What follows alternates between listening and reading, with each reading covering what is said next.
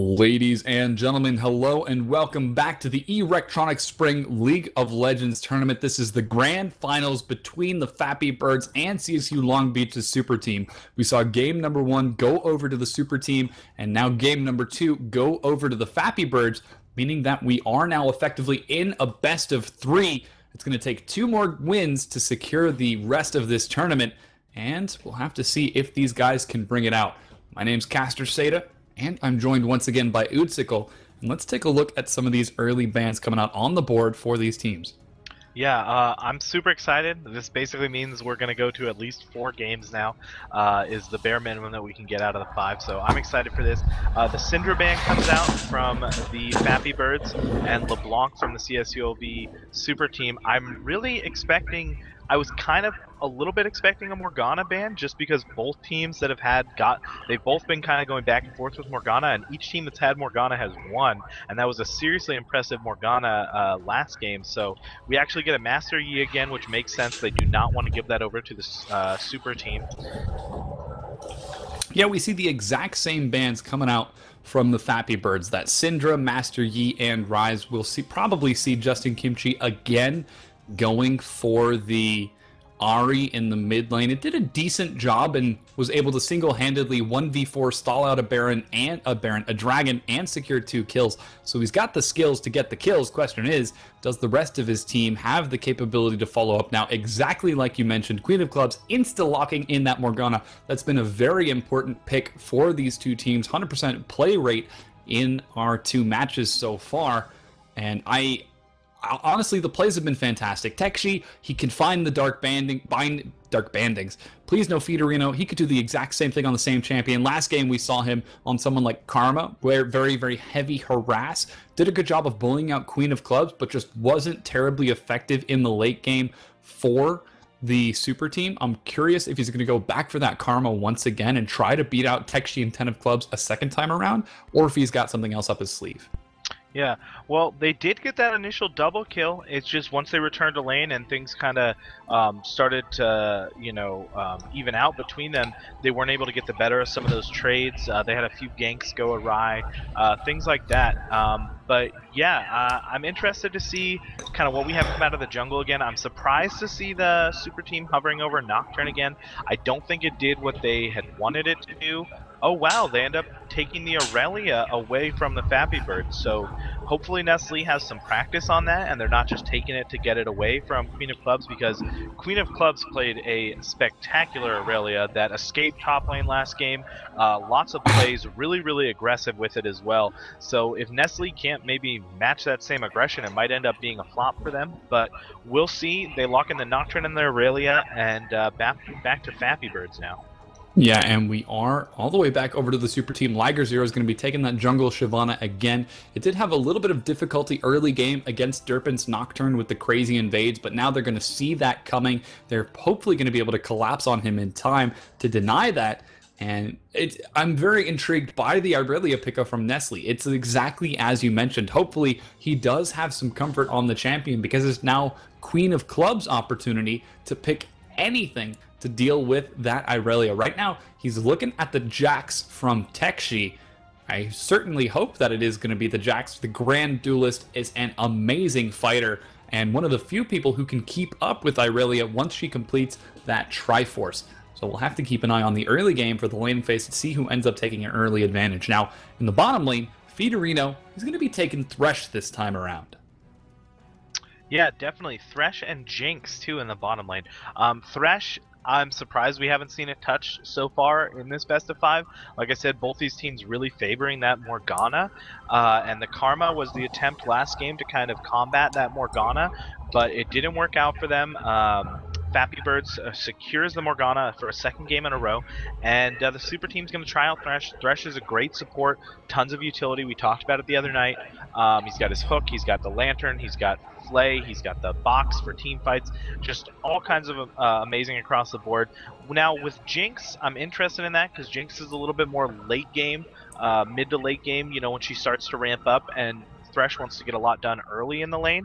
So we'll see how that goes. But his Lantern does counter the lack of kind of uh, mobility and escape that Jinx uh, doesn't have. So uh, on the opposite side of things, we're going to see the Fappy Birds locking in the Soraka, and I'm that's going to be a mid Soraka, which I don't think we've seen in the tournament so far.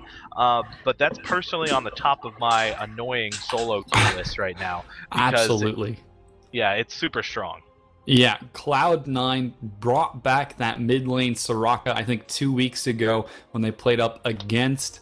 Um, I think first it was Team Coast, where they absolutely dominated, and then switched it out for a few more games in the Super Week, and then brought it back against TSM, who did not see it coming. They thought it was a troll pick, but it ended up being a very crazy, powerful pick. So the Link going to be taking that mid lane Soraka against Justin Kimchi on Orianna. Now we've seen Justin Kimchi on Assassins, we've seen him on Ziggs. This is the first time we're seeing him on a bit slower, more of a sustained AP carry. Hopefully he's going to be comfortable on it as we're seeing four unique new champions coming out for CSU Super Team. That's Irelia on Nestle, Kimchi going to be taking the Orianna, Songs rocking that Jinx, and Fiorino on Thresh. And you mentioned that Jinx and Thresh have got some pretty good synergy, but they're going to be up against the exact same lane they were last time. 10 of clubs getting Graves once again.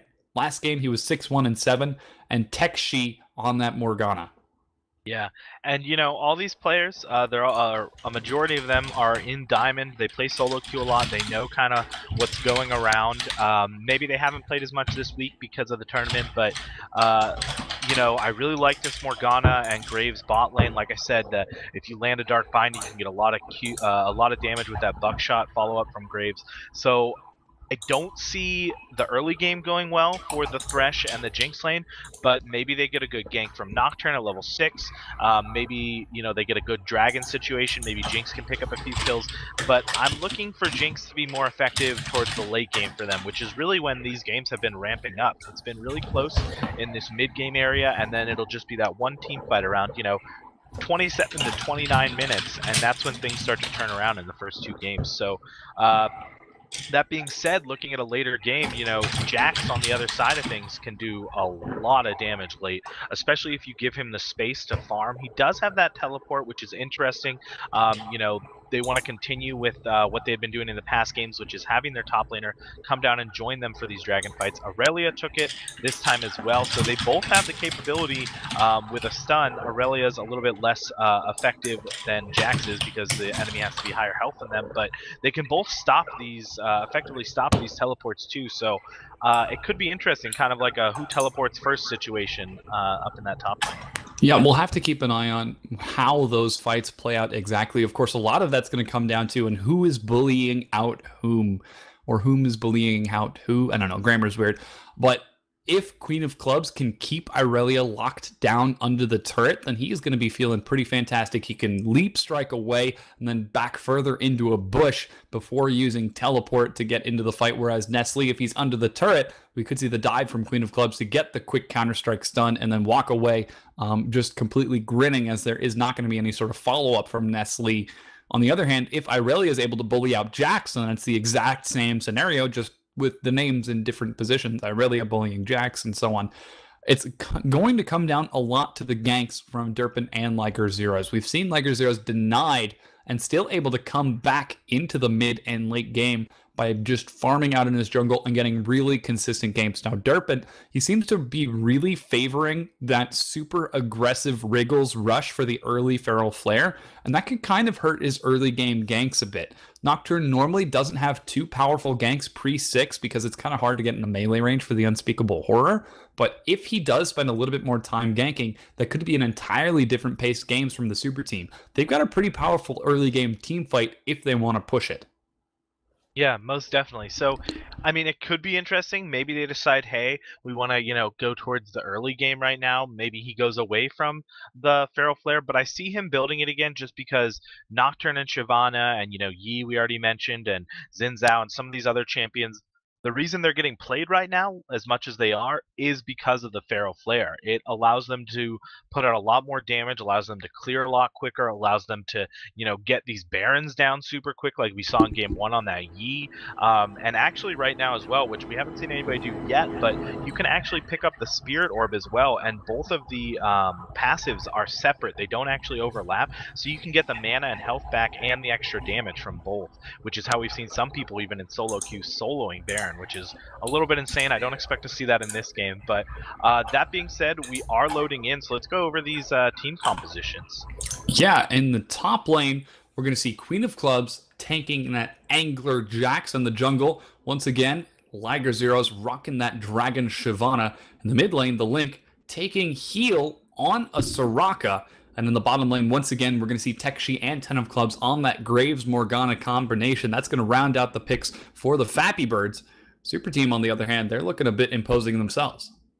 Yeah, so for the super team, we have Nestle on Aurelia in the top lane. Love that Frostblade Aurelia skin. Uh, Derpin in the jungle going on that Eternal Nocturne for the second game in a row. We'll see how effective he can be this time around. Justin Kimchi, this is his first game on Orianna in this tournament. Uh, we'll see if he's able to be as effective. He's been playing a lot of roaming champions, uh, and Orianna's still pretty good at the roam, but again, like you said, a little bit slower ramp up than what we've seen him on. Uh, songs on that Jinx, and we also have have Please No Fiorino on the Thresh support in the bottom lane. So uh, really awesome lineups. I'm excited to get into this uh, third game. And we have now loaded into the Rift already. Taking a look at the first item pickups, a little bit of differentiation from the Irelia this time around. Again, that's Nestle going to be taking the Irelia instead of Queen of Clubs. This time, he's going to be going for the early Crystalline Flask. That's going to give a lot of fantastic sustain to him. And really quick, we see a fast group coming out from the super team. Looks like they are going to be making a beeline towards that bottom lane to try to catch someone out of position, though. It is going to be 10 of clubs on his own down there. Tekshi spotting out the red buff. Defensive lineup should be able to keep an eye on this unless they are unprepared, though. Again, it's game number three. They're warmed up. They're at the prime of their playtime, one and one. This is a lot on the line for these guys. And again, we'll have to see if this gank is successful. It was unsuccessful last time. Tekshi walks too far forward. Dustbringer finds him, instantly flashes. The zap comes out. It's not going to find him. And a quick, quick advantage coming out for the super team by burning that flash.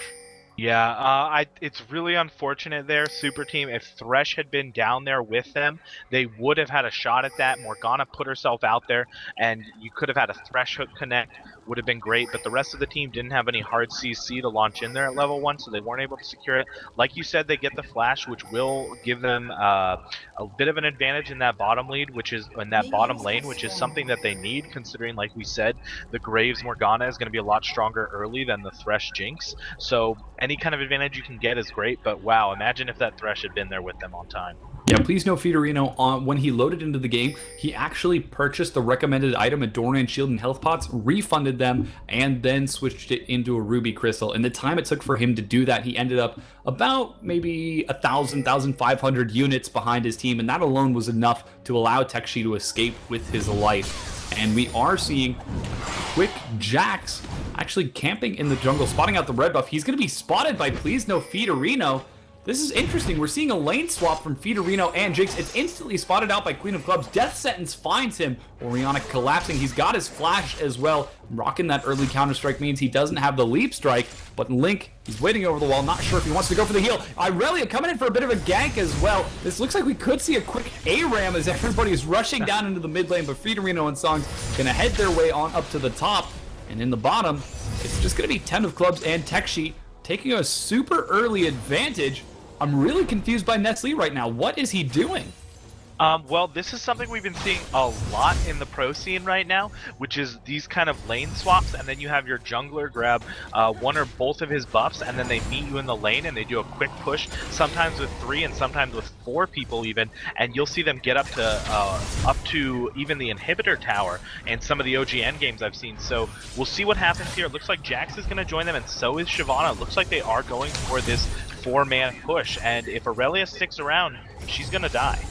Absolutely, that dive potential is enormous. We can see she is just sitting under the turret trying to wait it out. I don't know that she can even farm out this, and there she goes, backing away. She's going to head her way over to the white and the wolf camp. However, Derpin, with a fast reaction, headed up towards that top lane. He's not going to make it in time to be able to defend it, as we do have Jinx and defend it. He wants to attack it. I don't know if he's going to be able to bring it down. It is getting low with the minion wave, but they don't have enough quite yet. The next wave now streaming in. It's at half health, continuing to go low. They're getting close. Question is, do they have the damage to burn it through? In the meanwhile, the four-man push continues in the bottom lane. They're now looking for the tier 2 turret. And with Liger Zeros and Queen of Clubs continue to push out, they could very well get it as the caster minis are there. It's now tier 1 for tier 1. This is just such an interesting start from these teams.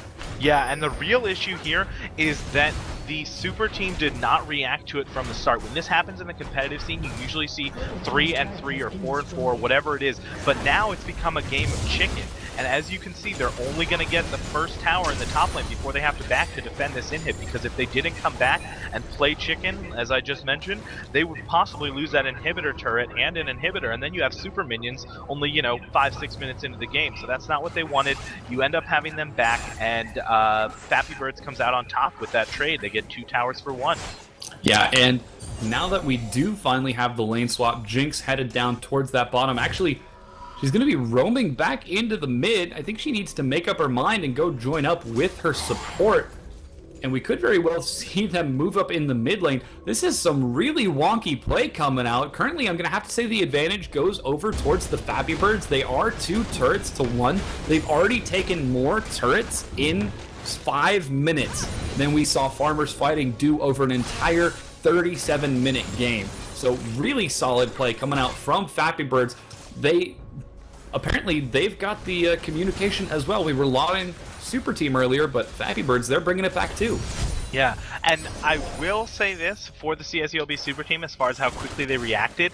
It did take the Fappy Birds a while to get their um, their top laner and their jungler down into that bottom lane. The push had been going for a little while. Aurelia used her TP to get into that lane onto the tower, and right after she did, the two members showed up. So at that point, it was kind of too late for her to do the same thing. Um, but interestingly enough, here you have Fappy Birds now doing a three-man push on mid. Uh, it is getting replied to now. You're going to have three on three in the mid lane, but it looked like they wanted to try to push down this mid tower uh, before the CSULB super team could react. Now, the real benefit coming out for the super team is going to be Nocturne. He's been farming in the jungle this entire time. Yes, he took the tier 1 turret, but not spending that time in the bottom lane trying to help out Irelia is putting him up 8 CS in farm. He does have a pretty decent amount of gold, was collapsed onto the mid, but was spotted out by a ward. This time, he's going to be smart enough to check into that bush by the Dragon Pit, finally clearing it out. I remember in the first and second game, that lasted an incredibly long time for the Fappy Birds, so already that advantage being taken. It is currently about an 800 gold lead in favor of the Fappy Birds. Looks like they are going to rotate into a little bit more of a standard position, sending Morgana and Graves in the bottom, but now the three-man push picks up for the super team in mid lane.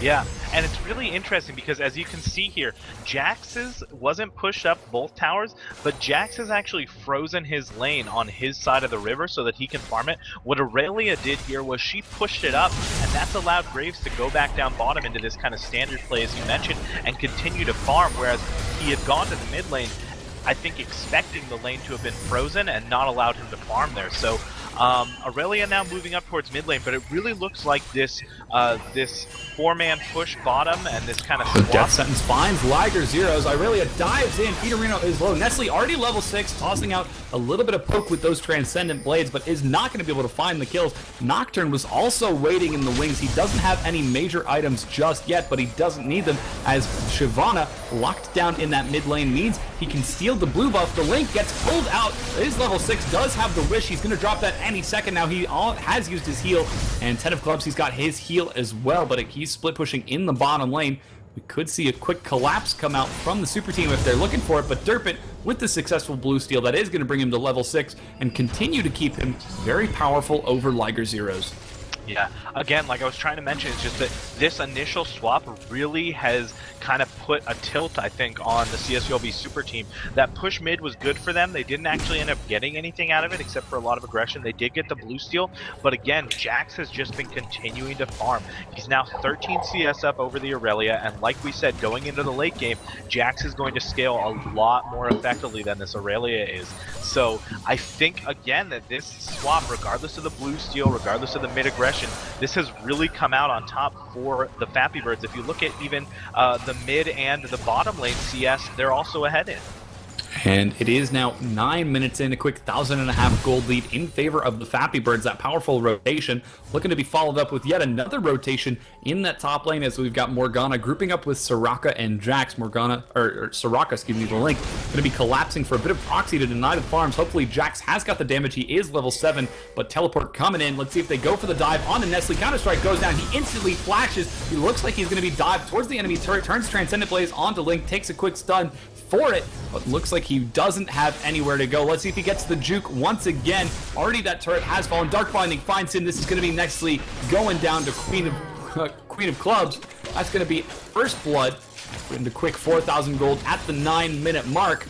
And now this is not looking too good for the super team. They're collapsing onto the mid turret, but I think 10 of clubs has got the wave clear. Yeah, this is super impressive from Fappy Birds. I'm, I'm, I'm like really excited about this. I'm not a huge fan of how this meta, how this, uh, how this kind of meta has developed in the LCS, but it's exciting to see because it's something that Fappy Birds has obviously practiced because they were ready for it. It's not just something they decided as they came into the game, like, oh yeah, maybe we should do this. They were practiced, they were ready. They're gonna lose out on the dragon here, but they could possibly get a second turret in the top lane if nobody reacts to this. Aurelia can't defend that alone. Yeah, and Irelia, she's making her way back up there. Again, the three members are capable of diving her. She has added a phage to her repertoire, but it might not be enough. It's Queen of Clubs, he's going to town, still rocking those double Doran's for enormous damage with the empowered strikes. He's really bringing it down quick. Transcendent Blades to clear out a few minions is going to remove all of them, but Queen of Clubs has got the damage to bring down the turret. It's four turrets to one. The only remaining turrets for the super team are going to be in that mid lane. Kimchi getting a bit distracted there, allows Liger Zeros to walk up onto him. He drops the heal to get some movement speed, but Burnout keeps Liger Zeros caught. A flash from Kimchi makes it under the turret, but the red buff takes down. He dies. It's two kills, four turrets. They don't have the dragon, but they certainly have the objective control. Yeah, they have their own dragon, Liger Zero, taking care of business there in that mid lane. Uh, again, I'm just super impressed with this strategy because this is something that has been happening a lot in the LCS and the challenger scene, the competitive scene, and it's it's great to see it come out uh, here. I mean, again, it's not the most fun to maybe watch from a spectator point of view, but I'm really excited about it. Obviously, CSULB was not prepared for it. Um, they will be uh, next game, regardless of who ends up winning this. But I mean, it's still very early. But I mean, you look at it, you've got about a 3.2k gold lead, maybe 3.4k gold lead. Paranoia goes down in the bottom lane. Derpin is looking for a kill on 10 of clubs. Super Mega Death Arc comes across the map, but it is not enough as 10 of clubs with the early BF sword is able to out damage that Wriggles on Nocturne. Picks up a kill for free the miscommunication from Super Team costing them their life and a few turrets at that. That's going to actually give the early Bloodthirster over to Graves. It's 11 and a half minutes in with a Bloodthirster stacking over Songs. Songs does not have even the Vampiric Scepter, which means that this is going to be a very scary Graves indeed. And just the play coming out from the Fappy Birds is incredible. They are yeah. getting powerful rotations. They're keeping pressure up in the right places, and they're finding pick after pick onto uh, the super team. Now, Nestle, he found Tekshi clearing out his ward. He can't even contest that ward clear from Tekshi. A level 5 Morgana versus a level 8 Irelia. That does not bode well for the super team. Not at all. And look at this. Fappy Birds uh, grouping up at the mid turret. Really low. They kind of want to take it out super team tries to engage on them and they don't get anything out of it, they're going to sit here and they're going to defend it. But I think as far as who's going to come out on top of this, you have Aurelia in this mid lane trying to help them defend. And likewise, you have the Jax sitting up in top lane continuing to farm. So um, that CS is actually kind of evened out. Aurelia was able to find some in other lanes, but uh, Jax still farming. You have the jungle very close in CS. Mid farm is pretty close as well, although the bot lane, that uh, Graves is still up by 20 CS. He's still holding that CS lead that he got early game. And again, looking at the gold, you have uh, a four, almost a 4k gold lead here at 13 minutes. So this is really impressive. Absolutely. We see Fiorino clearing out a few wards of his own to keep up with Liger Zeros. He does have that early ancient coin, but unfortunately, that's not going to provide too much gold if you don't get a standard laning phase. On the other hand, the Spell Thief's Edge, that is going to continue to provide gold over to Tekshi because he just has to hit enemy champions in order to get that bonus gold. And he's going for some pretty early, forward warding into the super team's jungle. He is going to be spotted out here by Fiorino and Derpent, but he doesn't have to get those wards down. He just has to put presence, put pressure onto the super teams to keep them feeling behind. It's really a game of morale at this point. Fappy Birds, they're feeling strong. They've taken four turrets, they're three kills to zero. Super team, they can't be feeling too great. And with Nestle getting caught out in his own jungle here, this could be even more demoralizing as he's being jumped upon. And he's going to go down. Derpin is sitting in the jungle. He is going to be spotted out once again by that dragon. No follow-up means he's going to get away with his life. But the four-man rotation again from the Fappy Birds. Yeah, and if they want to, they could even continue to push this top. I think that they're actually going to rotate middle here and uh, try to get this mid tower down. Dang, look at the damage. 10 of clubs going to town there. That early Bloodthirster, is he already fully stacked on that? He's currently sitting at 23 stacks. So really solid play. Super Mega Death Rocket is going to miss. Dark Binding finds Feederino. He drops the box to try to make it out of there. It is going to stall out the Fappy Birds, but I don't think they're going to be too perturbed as they're looking to secure the last Tier 2 turret 14 and a half minutes in. Yeah, they're now 5,000 gold up. They're going to push this last center turret, like you said, to go up to six turrets now. Uh, Jinx did get that turret bottom. She's going to try to continue to push, but Soraka is reacting to it, so she's not going to get anything out of it. And that's going to be Soraka with the completed Athene's Unholy Grail. Feederino going deep onto the enemy team. Doesn't have the Talisman of the Ascension, but I don't know that's a fight that he wanted as Irelia splitting in the top lane, Jinx in the bottom. And yes, Derpin is doing a good job on that Nocturne, but he's only at 22 stacks for that Wriggles Lantern. He needs to get at least three more jungle camps before he can effectively start trying to eliminate targets on the enemy team. He's going for that assassin build once again.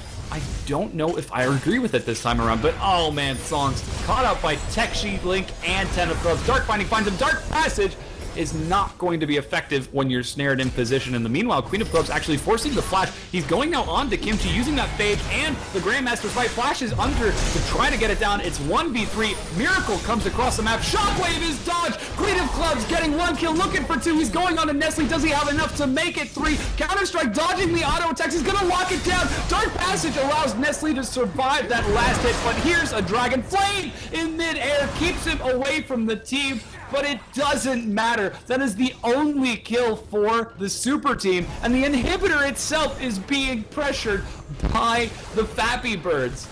Yeah, this is just again, this is well, uh, well thought out and well played by the Fappy Birds, and just CSULB is reacting to it now, but it's too little too late. They weren't prepared for it, took them by surprise, and now look at this. You have a naked in him bottom, you're up 8 to 1 kills, 7 to 2 in turrets, 28,000 gold to almost 21,000 gold. So you're up about 7.5k right now, and now they're going to go secure the second dragon of the game. So uh, just, you know, Fappy Birds is just ahead every step of the game right now on CSULB Super Team. It's unfortunate. Maybe they weren't prepared for it. Now that they, you know, see what's going on and they've reacted to it, like I said, it's just too little too late. They can't, I mean, you just had uh, Queen of Clubs on this Jax who's actually behind in CS, almost 1v3 the enemy team. So, Absolutely. Queen of Clubs just demonstrating why Jax is called the Grand Duelist. As he, that wasn't even a duel, that was a, a miniature team fight. Jax is powerful enough to beat his own team against the super team. At this point, it's almost worth the time to start thinking ahead to the next match. What do we ban? What do we try to keep away from the Fappy Birds? We cannot allow this to happen once again.